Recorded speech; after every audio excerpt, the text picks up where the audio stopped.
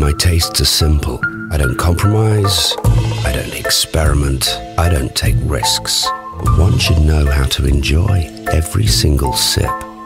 Remember that. On an average day around the world, the Royal Navy has up to 8,000 sailors and marines and as many as 40 ships, submarines and aircraft either deployed or preparing to deploy. They scare the hell out of people. But hey, what is fear? Nothing but lack of control. What you need to do is tame them, just like I do. Say no, you won't scare me. The sun. Brilliant, powerful, giver of life. But this is the story of how the sun will one day become our enemy. Elvis Presley was an overnight phenomenon. His shocking dance routines and deep, sexy vocals revolutionized the music industry.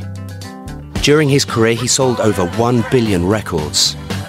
He was the true king of rock and roll. Wide eyes under crimson skies, drifting minds and shimmering reflections, light fading, shadows sinking, cocktails clinking. Goodbye, beautiful inferno. Doctor Who. The journey begins this Easter on BBC One. April the 10th, 1912.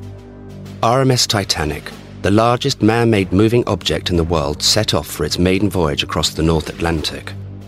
Five days later, the world was stunned when she sank, killing over 1,500 passengers and crew.